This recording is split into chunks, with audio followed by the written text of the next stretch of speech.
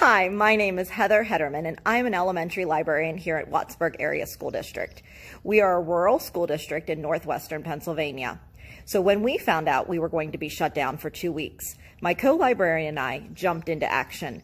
We found discarded books and started handing them out in the dismissal line. That first weekend in March, I found some other ways to stay connected with the community as well.